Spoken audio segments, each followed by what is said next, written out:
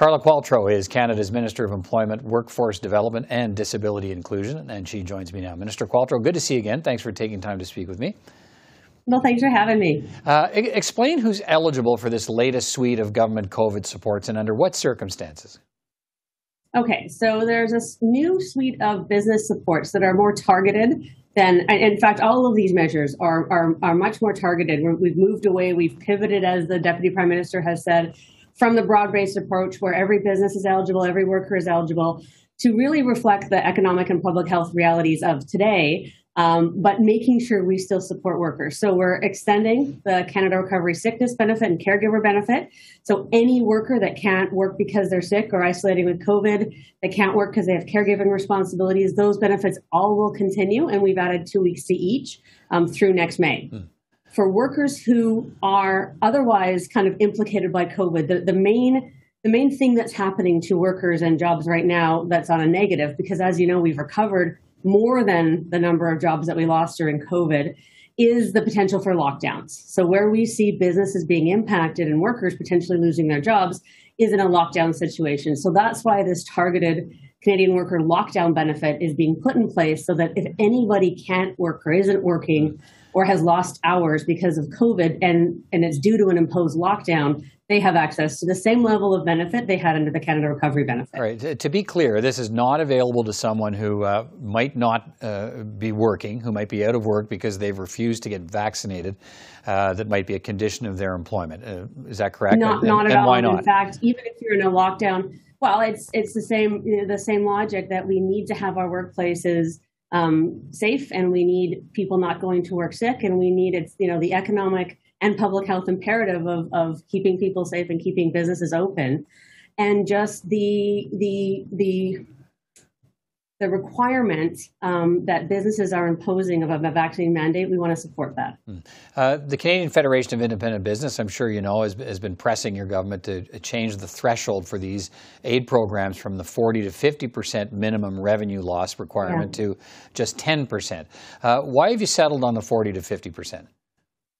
Well, again, that's a that's a finance question, Peter, but I'll do my best to answer. My understanding is we wanted to help businesses that have been significantly um, impacted over uh, over a period of time. Now, we know, for example, the tourism and hospitality um, support is really targeted because we know these this sector, these sectors or businesses in this this this definition um, aren't aren't recovering as quickly as other sectors, and we want to focus on them.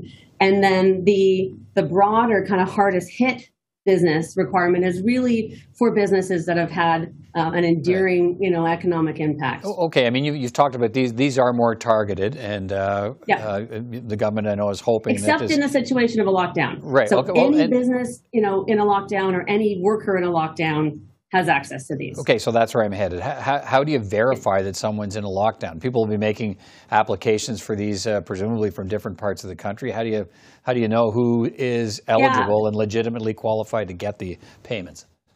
Well, we spent a lot of time figuring that out, and where we landed in the legislation is um, it, it's definitely. Um, at the discretion of the local, regional, provincial health authority or whatever a system is within a province to declare a lockdown. And we have provided a definition in, in the legislation that we will then compare the parameters of that declaration against in order to decide, and it's through Governor in Council on my recommendation, that that definition has been met. Um, non essential services have been impacted.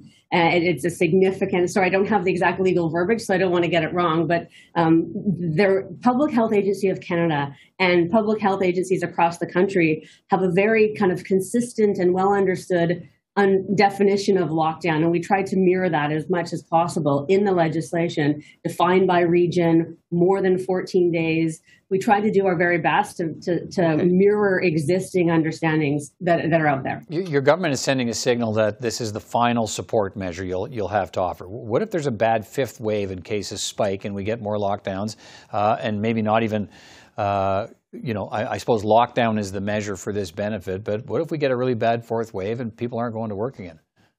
Well, then, like like every other time, we, absolutely, we hope and we expect this to be the last one. But like every, we pivot again, Peter, and we look at it again. There's no, people can absolutely be assured that if something hits us that we don't know is coming, then we will we will absolutely go back to the table and make sure workers are are supported. It, there's no doubt in my mind that that is the the, the collective um, understanding of cabinet on this. Okay, let me let me ask about artists and performers. Uh, they've been hard hit and continue to be. Uh, this plan doesn't include them.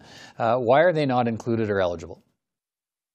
Well, this particular legislation doesn't include a specific subset of workers, like you're talking about artists and, and people in the cultural industries.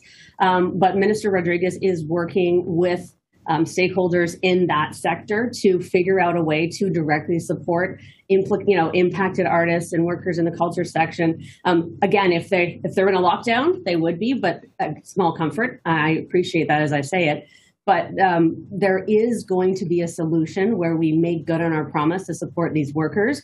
Um, again, I, I, don't know how technical you want me to be, yeah. but it's it's actually difficult to find a list and how do we define it and who would the people be and how do we pay them and what what mechanism? Is it is it a tax credit? Is it CRA is it ESDC and Service Canada? So but you're I mean, saying that's happening. I mean someone's trying absolutely. to absolutely all those conversations are, are happening all right sure. there, and there's the other. Let, us talk about seniors. I know you're you're dealing with this issue yeah. as well. Uh, so here's the situation, right? And uh, all kinds of seniors are seeing their guaranteed income supplement being clawed back, or they're not getting it at all because of the pandemic payments they received, uh, where their income went higher and, and then in some yeah. cases disqualified them. So, uh, what are you doing about that? What should they expect? Should they expect that, look, uh, yeah, the, the pandemic supports were taken as income, and if you took that as income, then you've taken yourself out of the eligibility for a certain level of GIS payments. So, what should they expect?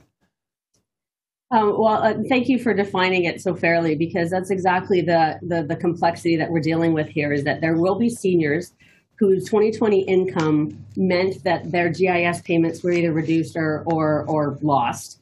Um, and some of those seniors that happened because they collected CERB. But there's other seniors who worked more last year and got took on extra hours during the pandemic, and so they lose uh, or have their GIS reduced. And so it's for me, it's an equity issue. We're trying to figure out. Some seniors tapped into their RSPs last year, mm-hmm. and and that was treated as income, and as a result, they have reduced GIS. So you can imagine a scenario where somebody worked and earned ten thousand um, dollars, and somebody took CERB for ten thousand dollars, and they're treated differently in terms of their eligibility for GIS this year. Right. We're working through it. It's very complicated. There's an equity piece here. Um, there's been no final decision. I'm not in any way saying that we're not going to find a, a, a solution, but it, in my mind, it has to be equitable for any senior. Okay. Uh, and, and, seniors have so, to be treated the same. All right, so this is a, stay tuned. So uh, seniors, yeah, it's a live issue. Worried about this or some um, moving, and I'm worried moving about parts. It. I feel and, very uh, badly for people. Yeah. Right.